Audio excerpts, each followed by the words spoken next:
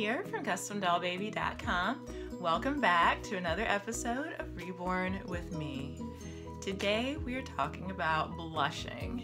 And before I dig into that, I just want to quickly do a review of what we've done so far. So we started with base coat to give us an even canvas to paint on. We cured that layer and then began mottling in several layers of mottling, adding blues and purples and reds to create the appearance of blood flowing under the skin. From there, we went on to paint veins in the hands and feet and also in parts of the temple and the head to further create the appearance of blood flowing under the skin. And then we added another blue shading layer on top of that for additional realism. Once we were done with all the under the skin work, we started adding skin through some Flesh 08 layers.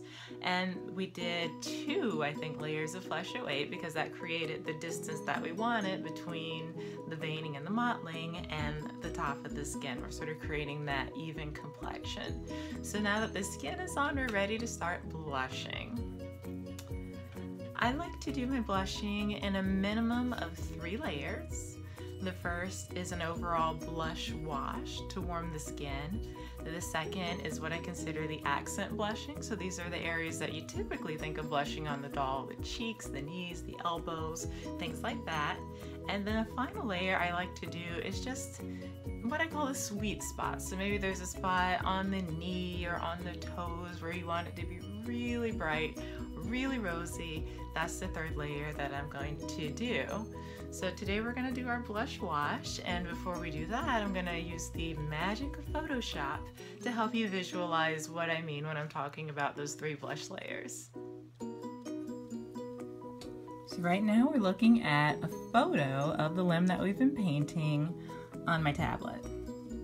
So the general blush wash is a very excuse me, it's a little wet outside, I'm getting super congested, is a very light wash of color.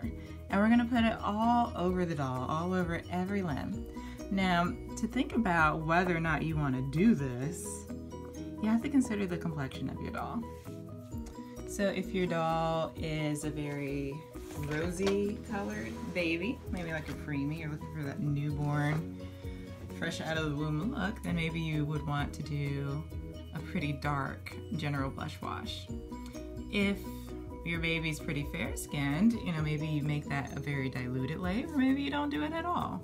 Fortunately, I'm working from a photo, so I don't have to make executive decisions like that. I can just make sure I'm matching the baby that I'm working on and go from there.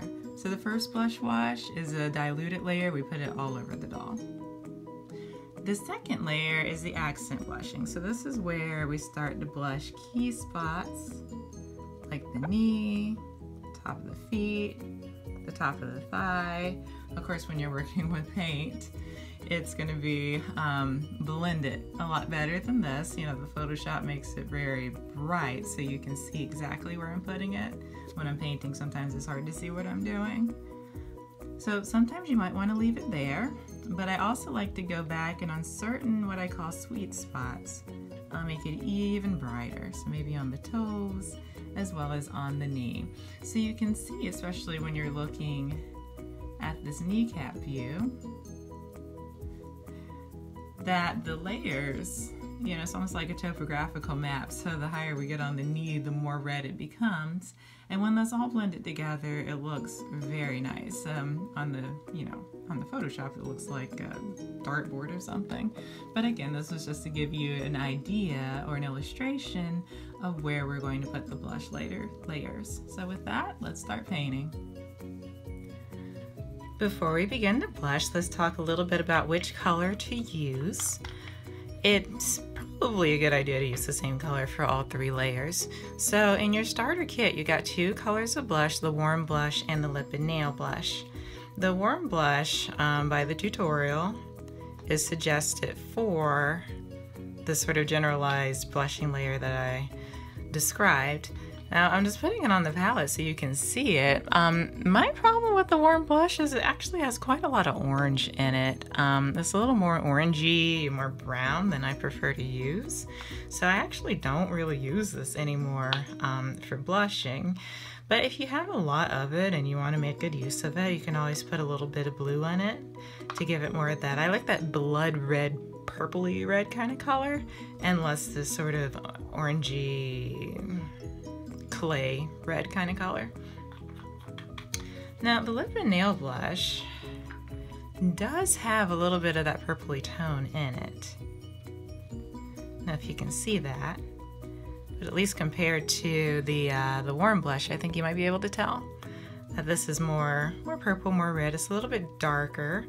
Um, I've never tried to use this as a generalized blush layer, but I do like to use it for my lips and nails, so it's one of the few things that I use as intended um, from the starter kit. What I prefer to use is actually a custom blend um, because I want that bloody purple-ish kind of color.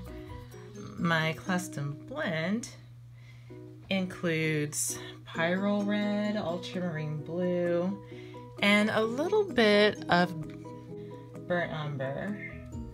Um, to give it that kind of bloody brown color. So I have some that I've already mixed in a jar for convenience, so I don't have to keep making it as I go. And as you can see, this color is quite distinct from the other two.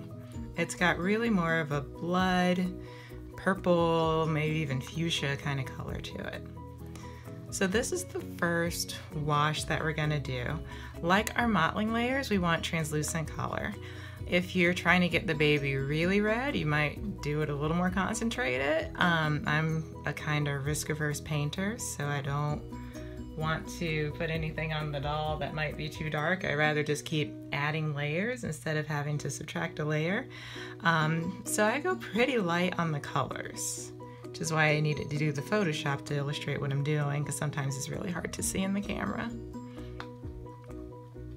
So I'm actually pretty content with the color that we've got here. I'm going to add some to the more porous brush and it's really up to you whether you want to go back and blot the color off once you've applied it or if you just want to leave it there. Again, it's a function of how dark you want your baby to be.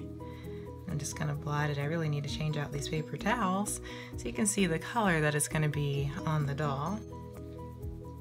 Make sure I don't have any dust or glitter or anything on it. I don't know why, but there's just like a lot of glitter in the atmosphere in my workshop and it gets on the dolls. So I'm forever brushing glitter off of things. Okay, and I'm just gonna add that warm blush layer, or not a warm blush, this generalized blush layer. As you can see, I'm putting it everywhere.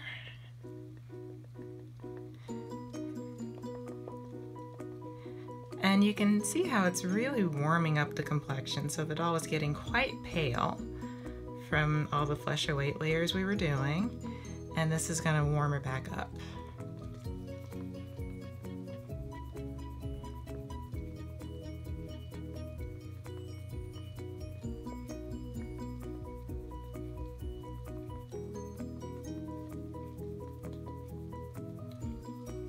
Okay. And I am gonna go and add this back into the creases, um, which is gonna look pretty nice actually because this is similar to the color that we're ultimately gonna use to paint the creases. So this is gonna begin to build out that creases color for us.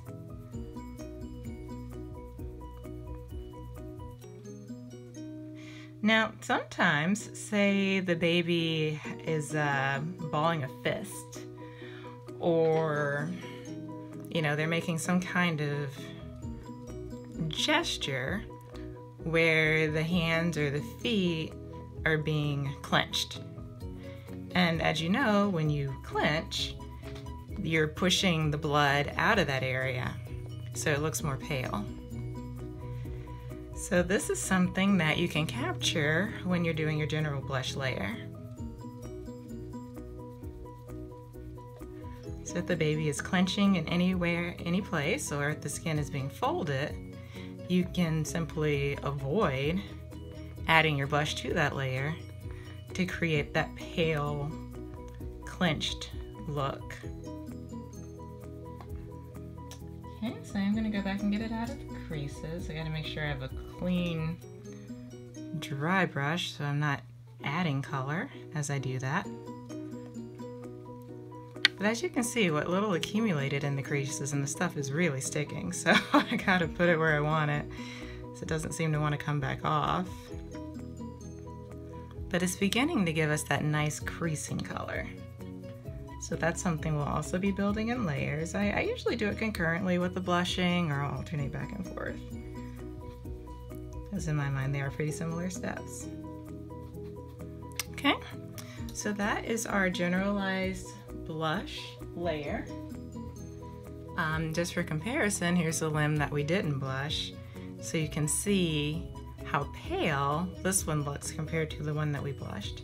So we're gonna let that dry. We're going to replicate it on all the other body parts and then cook it in the oven at 250 Fahrenheit. That's 60% power on the NuWave oven or power setting 6 for 8 to 9 minutes. Okay, as always, if you have any questions, um, please feel free to drop them in the comments or on the blog. Um, I, I, know there's some questions out there I haven't gotten to yet, so th thank you for your patience. I, I will be getting back to you soon. And of course, if you're a reborn artist and you see a question out there that you know the answer to and I haven't gotten to it yet, please feel free to chime in. Um, we're creating a community here and I'd love to hear from, from everyone. So again, thank you for reborning with me. We'll see you next time.